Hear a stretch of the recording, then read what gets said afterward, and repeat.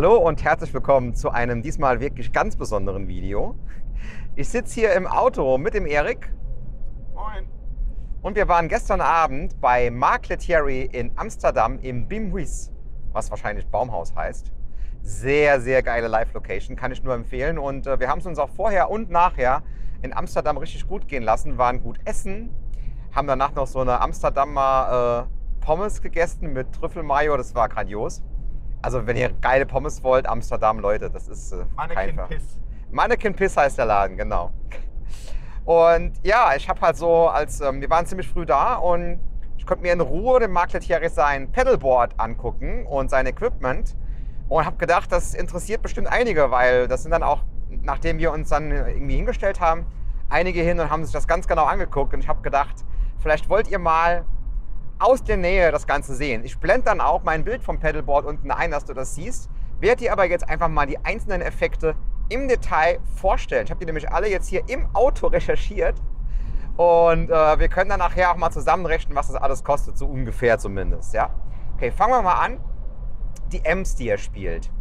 Das waren zwei Fender Twin Reverb. Ja, zwei Stück, die spielt er, soweit ich das sehen konnte, in Stereo.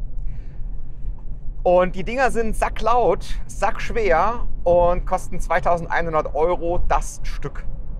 Davon hatte er hinter sich zwei Stück stehen und als Mikrofon zur Abnahme hatte er zwei SM7B von Shure. Die äh, erkennt man natürlich sofort, wenn man die sieht. Also die genaue Signalkette kann ich euch leider nicht sagen, weil ich nicht genau gesehen habe, wie die Kabel verbunden sind. Ja, also das konnte ich nicht so genau feststellen.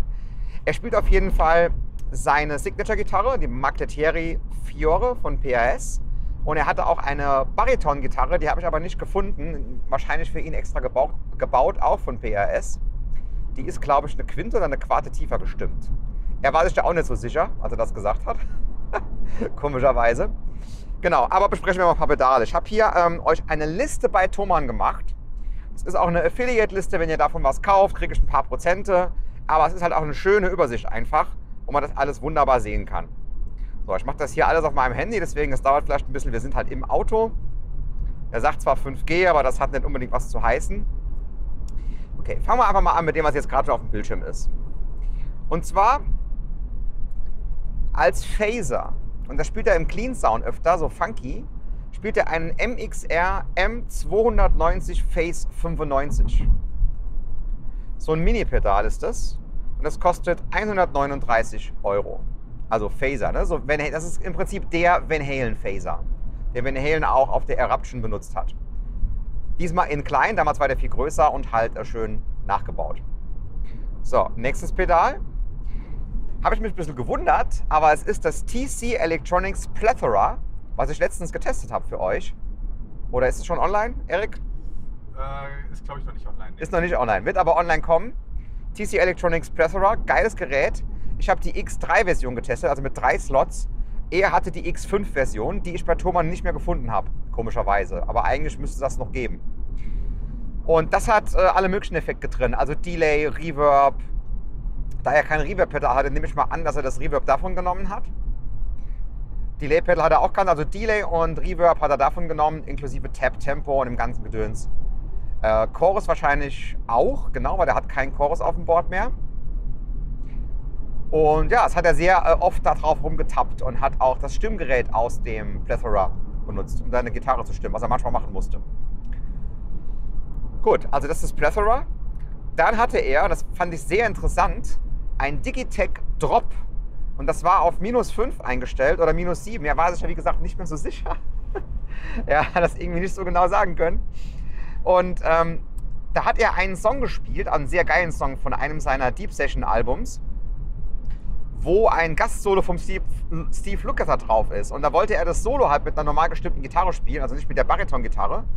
Und hat dann die Bariton-Parts mit dem Drop gemacht. Und das klang auch ganz gut. Nicht so geil wie mit der Bariton-Gitarre, aber immerhin ziemlich geil. Ja. Und er hat mich ziemlich gewundert. Ja, also Digitech The Drop, das findest du auf so vielen Pedalboards. Das gibt's nicht. Also das ist ein absoluter Verkaufsschlager. Also was das macht, das stimmt halt die Gitarre runter. Bis minus 12, glaube ich. Das macht es ziemlich gut. Also bis minus 3, ich hatte es mal getestet beim Kumpel. Bis minus 3 spürst du das kaum, dass das ein Pedal macht. Das ist äh, ziemlich geil, auch für Drop-Tunings. Also ähm, nicht- Drop-Tunings, sondern wenn du mal einen Standard D spielen willst, ohne die Gitarre umzu, um, umzuseiten oder umzustimmen. Geiles Pedal.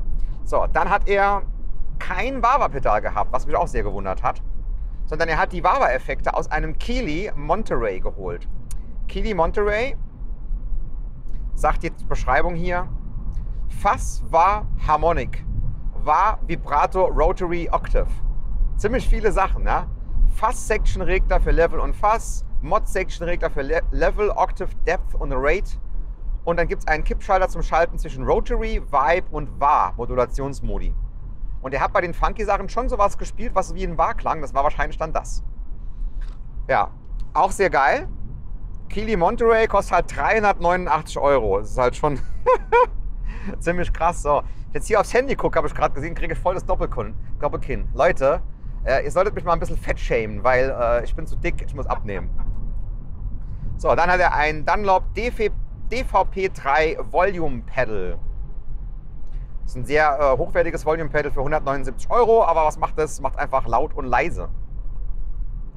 Wo er das hatte, habe ich nicht gesehen. Ich glaube, er hatte es vor der Verzerrung. Bin mir aber nicht ganz sicher. Es kann auch nach der Verzerrung gewesen sein. Wie gesagt, Signalkette konnte ich nicht 100% nachvollziehen. So, dann ein Pictronics Octava Micro Pedal. Und zwar ist das kein Octava im üblichen Sinne, was die Oktave nach unten macht, sondern hier steht analog Octave Up, regelbarer Low-Pass-Filter und Front-End Drive. Also auch wieder äh, so eine Art Fass mit Oktave nach oben. Damit hat er so krasse Sounds gemacht. Ich glaube, das hat er benutzt, als er Solos auf der Bariton-Gitarre gespielt hat. Da hatte er nämlich so einen ganz krassen Sound. Der klang so ein bisschen wie so ein Keyboard. Wenn ihr euch wundert, das war gerade eine Brücke. Ne? Also dieses komische Licht hier gerade. Gut, nächstes Pedal. Genau, da kommen wir jetzt schon zu der Stromversorgung. Und zwar nimmt er ein Strymon OJ. Und ja, das hat fünf Pedal-Outs. Manche hat er dann mit zwei Kabeln verbunden und damit hat er sein Board mit Strom versorgt. Das war auf dem Board drauf und er hat kein richtiges Pedalboard, so mit Schienen und so, sondern er hat einfach so eine. Also, das sieht genauso aus wie die Schneideplatte in unserer Küche. So ein Stück Plastik, wo er einfach alles draufgepappt hat. Ja, also es ist komplett flach, irgendwie, keine Ahnung, einen Zentimeter hoch vielleicht. Einfach nur so ein flaches Ding, wo er alles draufgepappt hat. Wahrscheinlich, weil es dann einfacher im Koffer zu transportieren geht.